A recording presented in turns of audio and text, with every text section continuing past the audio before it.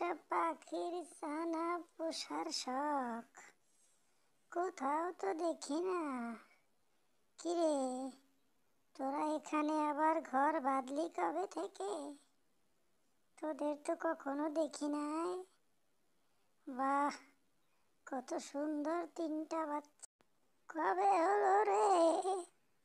এমন সুন্দর তিনটে বাচ্চা কিরে তুই তো একা মানুষ তিনটা বাচ্চা পালবি কি করে? আমাকে একটা দে, আমি পুষি। আমার বহুদিনের শখ, একটা বাচ্চা আমাকে দে। না বুড়িমা, এমন কথা বলো না।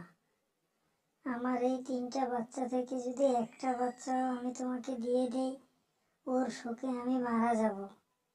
এই তিনটা বাচ্চা আমার জীবনের প্রথম বাচ্চা। আর আমি ওদের বাবাকে কি জবাব দেব? তুমি এই বাচ্চা তিনটার দিকে চোখ দিও না। অন্য যা মনে চায়, তাই করো। প্লিজ বুড়িমা, ওই বাচ্চা তিনটাকে আমার কাছ থেকে দূরে সরিয়ে নিও না। আমার জায়গায় থেকে আমাকেই না করিস। এত বড় স্বার্থ তোর। তুই বাচ্চা না দিয়ে কোথায় যাবি?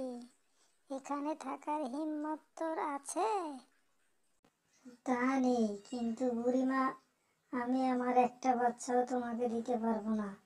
আমাকে ক্ষমা করে দাও, তাহলে ওর বাবা আমাকে রাখবে না। আর আমিও এই বাচ্চা তিনটার সুখে মারা যাব। অনেক সাধনার পরে আমার এই বাচ্চা তিনটা হয়েছে। তুমি একবার ভেবে দেখো, কেউ কি তার সন্তানকে দিতে পারে? তিনটা বাচ্চাকে তুই খাওয়াবি কি? একবারও ভেবে দেখেছিস? আর আমাকে দিয়ে দেওয়া মানে কি আমি ওটাকে মেরে ফেলব? আমি তোর থেকে আরও যত্ন করে রাখব ওদের। আমি ওদেরকে ভালো করে বড় করব। আমাকে দিয়ে দে, আমাকে শক্ত হতে বাধ্য করিস না। আর তোর সন্তান তোকেই আমি ফিরিয়ে দেব। কিন্তু আমার শখ আমাকে মিটেতে দে অন্যথায় এখানে আমি তোদের থাকতে দেব না। আর যদি নাই দিস, আমি যাচ্ছি এখনই শিয়ালের কাছে। ওকে বলব, তোর তিনটা বাচ্চাকেই যেন ও খেয়ে নেয়। তখন দেখি কি করে আমাকে বাচ্চা না দিয়ে পারিস। ভালোই ভালোই কথা বললাম, শুনলি না তো? এজন্যই কথা আছে, সোজা আঙুলে ঘি না উঠলে আঙুল বাঁকাতে হয়। দাঁড়া, আমি এখনই যাব, শিয়ালের কাছে যাব তোর বাচ্চা নেওয়ার জন্য। দেখি কি করে আটকাস। না বুড়িমা, শিয়ালের কাছে যেও না। ও জানতে পারলে আমার তিনটা বাচ্চাকে তো খেয়ে ফেলবেই সঙ্গে আমাকে আর ওদের বাবাকেও খেয়ে ফেলবে। আচ্ছা তুমি যা বলেছ তাই হবে। আমার বাবা আসুক, আমি তার সাথে আলোচনা করে দেখি তোমাকে একটা বাচ্চা দেয়া যায় কিনা। ওদের যত্ন করে রেখো, তবুও যেও না। ঠিক আছে, তাহলে আলোচনা করে দেখ ওর বাবার সাথে। ভালোই ভালোই দিস, আমি চললাম ব্যবস্থা নিতে। এর এসে যদি আমি না পাই তাহলে আমি তোদের এখানে থাকতে দেব না। আমি শিয়ালের সাথে আলোচনা করে রাখব, কিন্তু তোদের পথ চিনাবো না। চললাম তাহলে। আলোচনা করে আমার জন্য বাচ্চা রেডি রাখবি। এটাই তোর সাথে আমার শেষ কথা। বাচ্চা নেয়ার কথা বলে ওদেরকে বলল সিদ্ধান্ত নিতে। আর কুজো বুড়ি গুটি গুটি পায়ে এগুলো শিয়ালের বাড়ির দিকে। শিয়াল বাস করত একটা গুহার ভিতরে। সেখানে গিয়েই শিয়ালকে তলব করল। শিয়াল ছিল এখানে খুব ধ্যানমগ্ন অবস্থায়। অতপর যা হলো। তোকে যে এত খোঁজা খুঁজছি, আর তুই এখানে শুয়ে আছিস, জানিস না? কি হলো বুড়িমা? তুমি তো প্রয়োজন ছাড়া কখনো আসো না। এখন আবার এসেছ কোন নতুন ধান্দা নিয়ে? আমাকে খুলে বলো, কি চাও? কি তোমার সমস্যা? পুকুর পাড়ের বেল গাছটার নিচে লাল টিয়া পাখি জোড়া তিনটি বাচ্চা ফুটিয়েছে। ওখান থেকে যেভাবেই হোক আমার একটা বাচ্চা চাই চাই। আমি বহুত করে বললাম, দিতে রাজি হলো না। এখন তুই শেষ ভরসা, যেভাবে হোক এনে দে। ও আচ্ছা তাহলে এই কথা। আমি প্রথমে তোমাকে দেখেই ভেবেছিলাম যে তুমি যে ধুরন্ধর, তুমি তো বিনা কারণে আমার কাছে আসবে না। তোমার প্রয়োজনেই তুমি আমার কাছে এসেছ। যাই হোক, শত হলেও তুমি হচ্ছ বুড়িমা। তোমার একটা আবদার তো আমাকে পূরণ করে দিতেই হয়। তবে একটা শর্ত আছে। আজ থেকে আমি যখন গ্রামে গ্রামে মুরগি চুরি করতে যাব, তোমার কুকুর তিনটা যেন আমাকে ধাওয়া না আমি ওই তিনটি বাচ্চা থেকে তোমাকে একটি বাচ্চা এনে দেব। আর তুমি তোমার কুকুর তিনটাকে সামলাবে। ওরা যেন কখনো আমাকে তাড়া না করে। মুরগ মুরগি চুরি করার সময় ওরা যেন আমার পথের কাটা হয়ে না দাঁড়ায়। শর্তে যদি রাজি থাকো, তাহলে বলো। আর যদি না রাখো, তাহলে তুমি তোমার বাচ্চা এনে নাও, তুমি তোমার কাছেই তোমার শখ রাখো। আমারও দিয়ে কোনো যাবে আসবে না। সিদ্ধান্ত তোমার হাতে। দেখো কি করবে। তোর সকল শর্তে আমি রাজি। আমার কুকুরকে আমি থামাবো। তুই আগে বাচ্চা এনে দে। বাচ্চা এনে দিতে পারলে আমি কুকুর থামাবো আর তোকে বকশিসও দেব মনে রাখি। আচ্ছা ঠিক আছে বুড়িমা। তবে যে কথা দিলা সেই কথা যেন মনে থাকে। পরে আবার যেন কথা নড়চড় না হয়। এই কথাটা মনে রাখবে।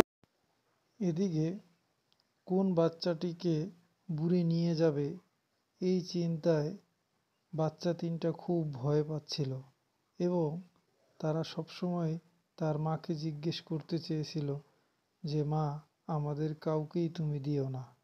আর তার মা সবসময় তাদেরকে পরামর্শ দিচ্ছিল যে, শোনো বাচ্চারা, তোমরা মোটেও ভয় পেও না ওই বুড়ির কথায়। তোমাদের বাবা আসুক, তার সাথে আলোচনা করে আমি একটা সিদ্ধান্ত নেব। এতে ভয় পাওয়ার কি আছে? সে বলেছে, আমি তো আর তোমাদের দিয়ে দিচ্ছি না। আর তোমরা তিনজনই আমার কাছে আদরের। আমি কাকে রেখে কাকে দেব? তোমাদের কাউকে ছাড়াই তো আমি নিজে বাঁচব না। যদি প্রয়োজন হয়, তোমরা তো এখন অল্প করে উড়তে শিখে গেছো। আমরা সবাই মিলে এই গ্রাম ছেড়েই চলে যাব। এই দুষ্টু বুড়ির এলাকায় আর আসবও না, আর আমার কোল ছাড়াও করবে না কেউ। তোমরা একেবারেই ভয় পাবে না। কিছুক্ষণের মধ্যেই তোমাদের জন্য খাবার নিয়ে আসবে তোমার বাবা। তারপরে তার সাথে আলোচনা করেই আমি সিদ্ধান্ত নেব যে আমরা কোথায় যাব, কোথায় থাকব কি না। কিন্তু তোমাদের কাউকে আমি ছাড়ব না। এতটুকু বিশ্বাস আমার পরে রেখো। শুনেছ, তুমি খাবার আনতে গিয়েছিলে যখন? তখন ওই কুজো বুড়ি এসেছিল। এসে বলল, তোর তো তিনটে ফুটফুটে বাচ্চা, তুই একা খাওয়াতে পড়াতে পারবি না। তার চেয়ে আমাকে একটা বাচ্চা দিয়ে দে, আমি বড় করে লালন পালন করে আবার তোকে ফিরিয়ে দেব। কিন্তু এটা কি সম্ভব?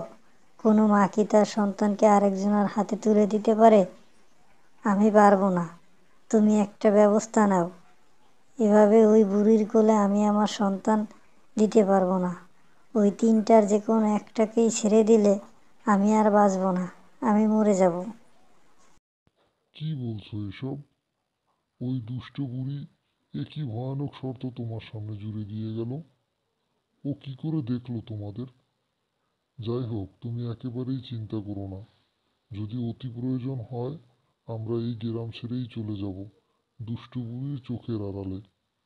তুমি যেমন ওদের তিনটা বাচ্চার একটাকেও ছেড়ে বাঁচতে পারবে না, আমিও তেমনি বাঁচতে পারব না। আমি আমার সন্তানকে কখনোই একটা ডাইনির কোলে শোপাবো না। তুমি চিন্তা করো না সব কিছু গুছিয়ে নাও।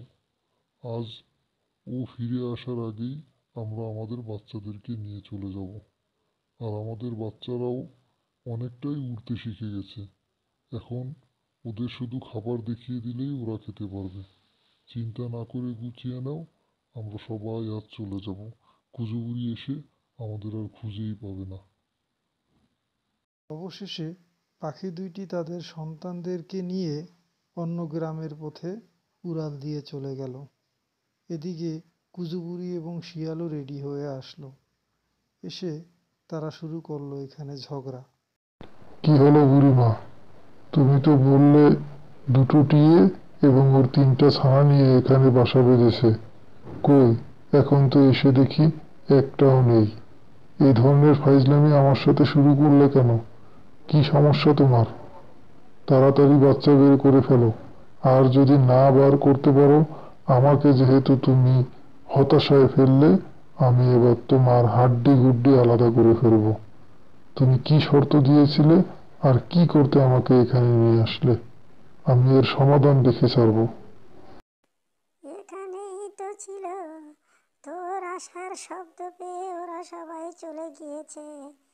এখন আর কি করার? তোকে আনতে যাওয়াটাই ছিল আমার ভুল।